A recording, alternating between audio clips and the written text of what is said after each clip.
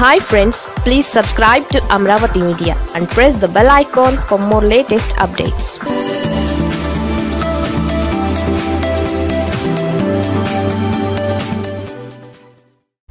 ఆ జిల్లా తాలూకా DDRC incharge minister వర్యులు ఎవరైతే ఉంటారో వారి ఆధ్వర్యంలో కూడా సమీక్షా సమావేశం ఏర్పాటు చేసుకొని ఆ జిల్లాల్లో ఈ కోవిడ్ నియంత్రణ కోసం తీసుకున్నటువంటి చర్యలు ఏ విధంగా ఉన్నాయి? కోవిడ్ కేర్ సెంటర్స్ ఏ విధంగా పనిచేస్తూ ఉన్నాయి?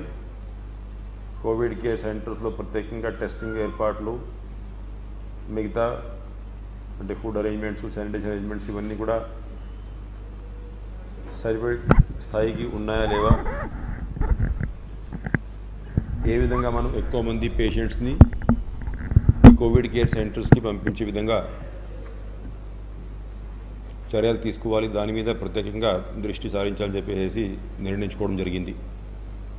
దీనికి కావాల్సినటువంటి ఆదేశాలు జిల్లా కలెక్టర్లందరికీ ఇవాళ సాయంత్రం పంపడం జరుగుతుంది.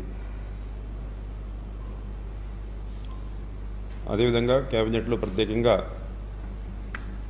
మన రాష్ట్రంలో ఏ మండలాల్లో అయితే ఒకే పిఎస్సి ఉందో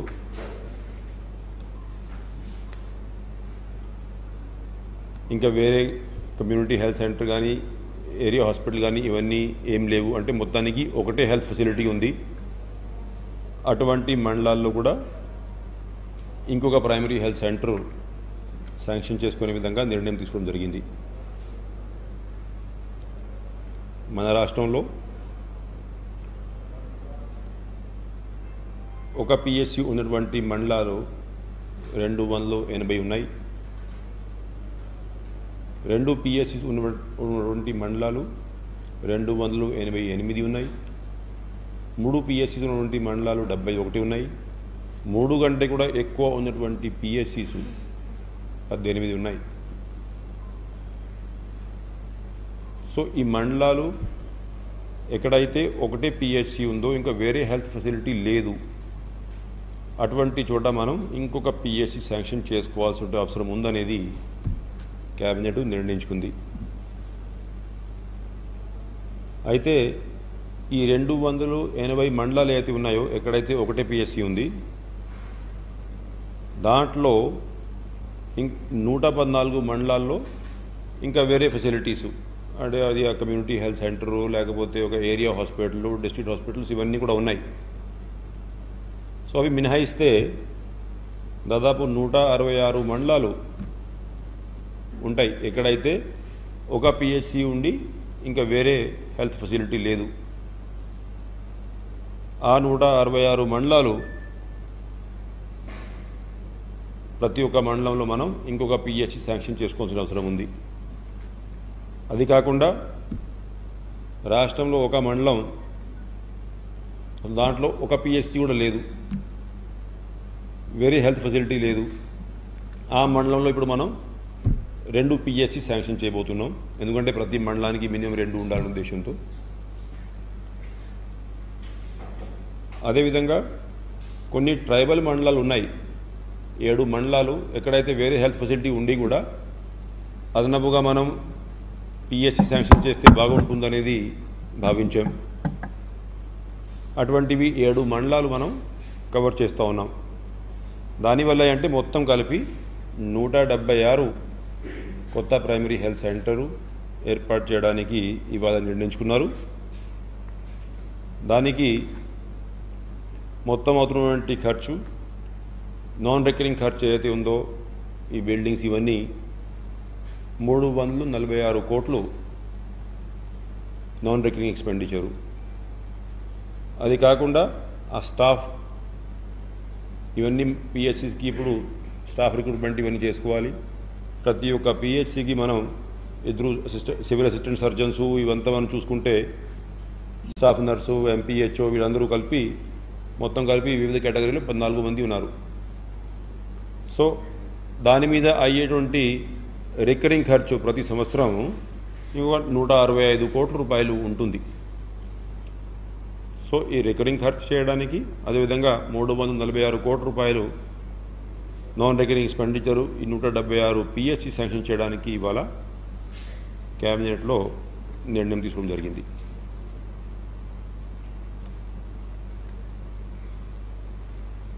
అయితే ఇప్పుడు ఈ కోవిడ్ విషయానికి వస్తే మనం దాదాపు ఒక లక్ష పదహైదు వేలు ఏడు వందలు ఎనభై నాలుగు శాంపిల్స్ గత ఇరవై నాలుగు గంటల్లో టెస్ట్ చేయగా లక్ష పదిహేను వేలు ఏడు వందలు ఎనభై నాలుగు. దాంట్లో ఇరవై వేలు ముప్పై నాలుగు మంది పాజిటివ్ అంటే seventeen point three zero percent positivity. ఎనభై రెండు మంది కోవిడ్ వల్ల మృతి చెందారు. Point four one mortality rate.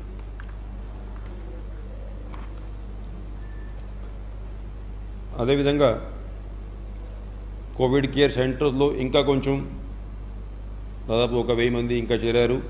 అంటే మొత్తం కలిపి ఇవాళ పన్నెండు వేలు నాలుగు వందలు పన్నెండు మంది మనం స్థాపించినటువంటి ఎనభై ఐదు కోవిడ్ కేర్ సెంటర్స్లో ట్రీట్మెంట్ పొందుతూ ఉన్నారు.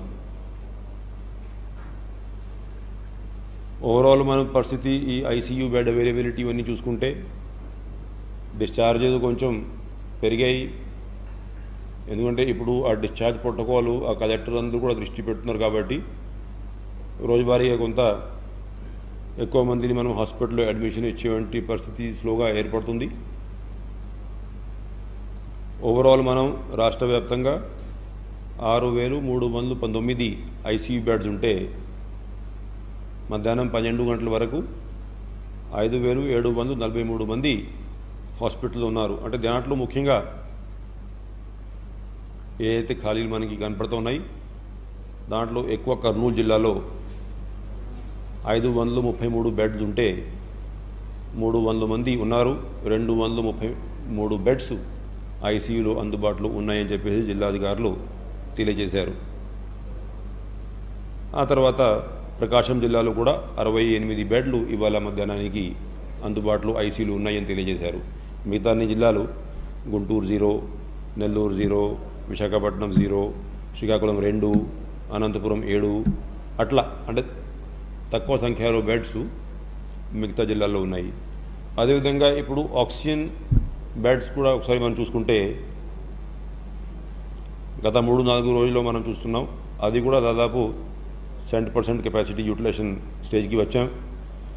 ఇరవై ఒక్క వేలు ఎనిమిది వందలు యాభై ఎనిమిది బెడ్స్ ఉంటే ఆక్సిజన్ బెడ్స్. దాంట్లో ఇరవై వేలు ఒక నూట ఎనిమిది బెడ్స్ మధ్యాహ్నానికి అంటే మధ్యాహ్నం పన్నెండు గంటలకి పదిహేడు వందలు యాభై బెడ్లు మాత్రం రాష్ట్రం అంతా కలిపి అన్ని హాస్పిటల్స్ కలిపి అందుబాటులో ఉన్నాయి. దాంట్లో కూడా ఎక్కువ బెడ్స్ మనం చూసుకుంటే ఐదు వందలు యాభై ఏడు బెడ్స్ చిత్తూరు జిల్లాలో ఉండేవి. ఆఫ్టర్ దాట్ విజయనగరము ఒక రెండు వందలు బెడ్స్. మిగతా అన్ని తక్కువ సంఖ్య బహుశా సాయంత్రం కల్లా అది కూడా తగ్గిపోయి ఉంటుంది అనుకోండి. ఇంకా ఈ మామూలుగా ఈ రెమ్డెసివిర్ ఆక్సిజన్ ఇవన్నీ సప్లై చూసుకుంటే రెమ్డెసివిర్లో జిల్లా హాస్పిటల్స్లో ఉన్న గవర్నమెంట్ హాస్పిటల్లో ఉన్నటువంటి అవైలబిలిటీ ఇరవై ఒక్క వేలు ఎనిమిది వందలు తొంభై ఎనిమిది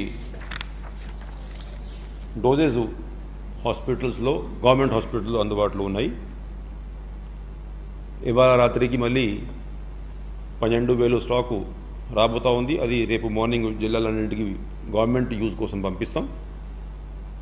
ప్రైవేట్ హాస్పిటల్స్ ఒకసారి మనం చూసుకుంటే రెమ్డెసివిర్ సప్లై పద్నాలుగు వేలు ముప్పై డోసులు ఈ ఒక రోజులో సాయంత్రం వరకు మనం ప్రైవేట్ హాస్పిటల్స్ అన్నింటికి కూడా ఇవ్వడం జరిగింది.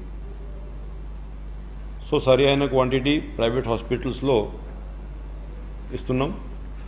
ఎక్కడ కూడా ఇప్పుడు పెద్ద ఎత్తున ప్రైవేట్ హాస్పిటల్స్లో రెమ్డెసివిర్ లేవనేది కంప్లైంట్స్ కాల్ సెంటర్కి ఫోన్లు రా కానీ అసిస్టెంట్ డైరెక్టర్స్ డ్రగ్స్ ఎవరైతే మానిటర్ చేస్తున్నారో వాళ్ళ దృష్టి కానీ ప్రస్తుతానికి అయితే రావట్లేదు ఆక్సిజను మనం ఈ ఒక రోజులో నాలుగు వందల నలభై ఆరు మెట్రిక్ టన్నుల ఆక్సిజను గవర్నమెంటు ప్రైవేటు హాస్పిటల్స్కి సప్లై చేయడం జరిగింది.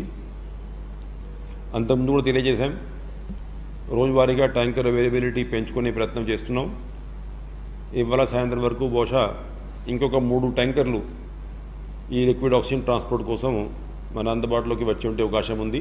ఇంకో గంట రెండు గంటల్లో కొంచెం క్లారిటీ వస్తుంది. రోజువారీగా మనం ఈ ఉన్నటువంటి ట్యాంకర్లు అంటే నైట్రోజన్ సప్లై చేసిన ట్యాంకర్స్ కొన్ని ఉంటాయి దాన్ని మనం కన్వర్షన్ చేసుకుంటాం. ఈ ట్యాంకర్స్ పెంచుకొని ప్రయత్నం చేసుకొని కాస్త దూరం నుంచి అయినా ఆక్సిజన్ సప్లై కొంత కన్వీనియంట్గా ఉంటుంది. ఆ విధంగా మనం ఏర్పాట్లు చేస్తున్నాం.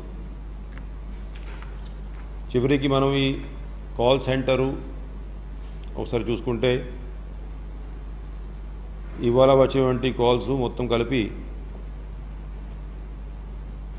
పదహారు వేలు ఎనిమిది వందలు యాభై ఆరు calls. One zero four call సెంటర్కి రావడం జరిగింది. దాంట్లో రోజువారీగా అలాగానే ఎక్కువ కాల్స్ ఆరు వేలు ఐదు వందలు తొంభై రెండు కాల్స్ వివిధ రకాల ఇన్ఫర్మేషన్ కోసం.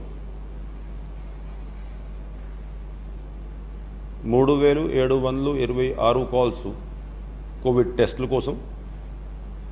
రెండు వేలు తొమ్మిది వందలు డెబ్బై ఆరు కాల్స్ హాస్పిటల్ అడ్మిషన్ కోసం అండ్ రెండు వేలు రెండు వందలు ఇరవై నాలుగు కాల్స్ టెస్ట్ రిజల్ట్స్ కోసం. ఇవి మెయిన్ ఫోర్ కేటగిరీస్ రోజువారీ కూడా ఎక్కువ కాల్స్ వచ్చేవి ఇవి కేటగిరీలోనే కొన్ని వివిధ రకాలు కూడా ఉంటాయి. వ్యాక్సిన్ ఫస్ట్ డోసు కోసము ఆరు వందల నలభై ఒక calls vaccine second dose pending అయింది. చెప్పడానికి నాలుగు వందలు ఆరు కాల్స్ అయితే నిన్న కూడా మీకు తెలియజేశాను. గవర్నమెంట్ ఆఫ్ ఇండియా ఏ అయితే స్టాక్ మనకి ఈ ఫస్ట్ ఫోర్ట్ నైట్కి ఇవ్వడం జరుగుతుంది. దాదాపు తొమ్మిది లక్షల డోసులు మనకి వస్తున్నాయి. మే ఫస్ట్ మే ఫిఫ్టీన్త్ లోపల గవర్నమెంట్ ఆఫ్ ఇండియా సప్లై కింద.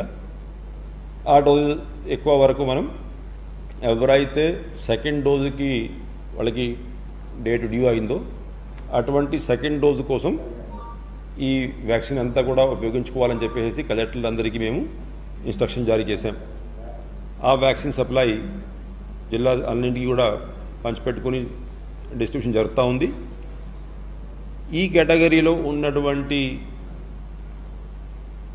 అంటే ఎవరికైతే సెకండ్ డోస్ డ్యూ ఉందో అటువంటి వాళ్ళకి సెకండ్ డోస్ ఇచ్చాక మిగిలినటువంటి వ్యాక్సిన్ అయితే ఉందో ఫస్ట్ డోస్ కోసం ఏమైనా కోటా మిగిలితే అవకాశం ఉంటే అప్పుడు ఏదైతే అలైడ్ కేటగిరీస్ ఉన్నాయో అంటే మన రాష్ట్ర ప్రభుత్వము ఉన్నటువంటి వ్యాక్సిన్స్ అన్నీ కూడా నలభై ఐదు సంవత్సరాలు పైబడి ఉన్నటువంటి ఎలిజిబుల్ బెనిఫిషరీస్ కోసం వాడుకోవాలని చెప్పేసి ముందే నిర్ణయం మీ అందరికీ నేను తెలియజేశాను. అయితే దాంట్లో కూడా ఈ కొన్ని కేటగిరీస్ ఇప్పుడు ఎక్కువ పబ్లిక్ డీలింగ్ ఉన్నటువంటి కేటగిరీస్ ఉదాహరణంగా ఏపీఎస్ఆర్టీసీ స్టాఫ్ అదేవిధంగా బ్యాంక్ స్టాఫ్. ఇటువంటి కేటగిరీస్లో ఎవరైతే స్టాఫ్ ఉన్నారో ఎక్కువ పబ్లిక్ డీలింగు పబ్లిక్ సర్వీసెస్లో ఉన్నటువంటి స్టాఫ్ ఉన్నారు ఫార్టీ ఫైవ్ ప్లస్ కేటగిరీలోనే అటువంటి స్టాఫ్కి ప్రాధాన్యత ఇవ్వాలనేది నిర్ణయించుకున్నాం. ఉదాహరణగా దాంట్లో మీడియా ప్రతినిధులు కూడా ఉండవచ్చు అంటే వాళ్ళు కూడా ఎక్కువ పబ్లిక్ డీలింగ్ ఉన్నటువంటి స్టాఫ్. సో ఎవరికైతే ఎక్కువ పబ్లిక్ డీలింగ్ ఉందో ఎసెన్షియల్ సర్వీసెస్ ఇస్తూ ఉన్నారు. ఫార్టీ ఫైవ్ ప్లస్ ఉన్నటువంటి స్టాఫ్కి ప్రయారిటీ ఇవ్వాలనేది. ఎందుకంటే ఇప్పుడు స్టాక్ తక్కువ స్టాక్ ఉంది. ఈ తొమ్మిది లక్షల్లో ఎక్కువ స్టాక్ అయితే సెకండ్ డోస్కి సరిపోతుంది. ఇంకా కొన్ని లక్షలు రెండు మూడు లక్షలు స్టాక్ మిగిలితేది ఇంకా జనరల్గా మనం ఎక్కడికి తీసుకెళ్ళి కామన్ పబ్లిక్ని చేసేటువంటి పరిస్థితి లేదు. స్టాక్ తక్కువ ఉంది. కాబట్టి ఎక్కువ పబ్లిక్ డీలింగ్లో ఉన్న వాళ్ళకి మనం ఇచ్చామనుకోండి వాళ్ళు ఫ్రీక్వెంట్గా టచ్ అవుతూ ఉంటారు. రిస్క్ ఎక్కువ ఉంటుంది. స్ప్రెడ్ చేసే అవకాశాలు కూడా ఎక్కువ ఉంటాయి కాబట్టి ఫస్ట్ ఈ కేటగిరీని మనం ఫార్టీ ఫైవ్ ప్లస్ కేటగిరీలో మనం వ్యాక్సిన్ చేసుకుంటే బాగుంటుంది అనేది ఇవాళ డీటెయిల్డ్గా కౌన్సిల్ ఆఫ్ మినిస్టర్స్ మీటింగ్లో కూడా డిస్కషన్ చేసుకొని ఎటువంటి ఆదేశాలు ఇప్పుడు జిల్లా కలెక్టర్లకి ఇవ్వడం జరుగుతుంది. అదేవిధంగా నిన్న ఏదైతే ప్రభుత్వం నిర్ణయం తీసుకుంది ఈ రేపు ఉదయం నుంచి ఆరు గంటల నుంచి పన్నెండు గంటల వరకు అన్ని ఎస్టాబ్లిష్మెంట్స్ అన్ని ఇన్స్టిట్యూషన్స్ మామూలులాగానే పని చేసుకుంటూ ఉంటాయి except for section one forty four notification అంటే గుంపు గుంపుగా ఎక్కువ మంది ఒకే చోట ఉండొద్దు అంతే తప్ప మిగతా యాక్టివిటీస్ సమాన రూపంలోనే పనిచేస్తూ ఉంటాయి. మధ్యాహ్నం నుంచి ఒక కర్ఫ్యూ లాంటివి రిస్ట్రిక్షన్స్ ఉంటాయి. అనవసరంగా మిగతా వాళ్ళు బయటికి రాకుండా ఓన్లీ ఎగ్జామ్టెడ్ కేటగిరీస్ బయటికి వచ్చే విధంగా ఏదైతే నిర్ణయం తీసుకున్నాం దానికి విధి విధానాలు ఇప్పుడు చాలా వరకు ఫైనల్ అయినాయి. ఇంకొక అర్ధ గంట సేపులో ఆ డీటెయిల్డ్ గైడ్లైన్స్తో ఆ ఇన్స్ట్రక్షన్స్ కూడా ప్రకటించడం జరుగుతుంది. ఇంకా మళ్ళీ అర్ధ గంటలు ఆ కలెక్టర్లు ఆ సూపరింట్ ఆఫ్ పోలీస్ అందరితో కూడా మేము వీడియో కాన్ఫరెన్స్ నిర్వహించి వారికి కూడా క్లారిటీ వచ్చే విధంగా ఆఫ్టర్ దాట్ ఈ జియో ఇష్యూ అయ్యాక మీ పత్రికల ద్వారా మీడియా ద్వారా కూడా ప్రజలందరికీ తెలిసే విధంగా కూడా ఇవ్వడం జరుగుతుంది. బహుశా ఇంకొక హాఫ్ అన్ అవర్లో ఈ జియో విడుదల చేస్తాం. చాలా వరకు క్లారిటీ తీసుకున్నాం. ఇంకో రెండు మూడు అంశాలు ఫైన్ ట్యూనింగ్ జరుగుతూ ఉంది. అది జియో ఇష్యూ అయ్యాక మీరందరికీ ఇచ్చి ప్రజల్ని ఈ జియోలో ఇచ్చేటువంటి మార్గదర్శకాల మేరకు ప్రభుత్వంతో సహకరించాల్సిందిగా మీ ద్వారా నేను మనవి చేస్తున్నాను.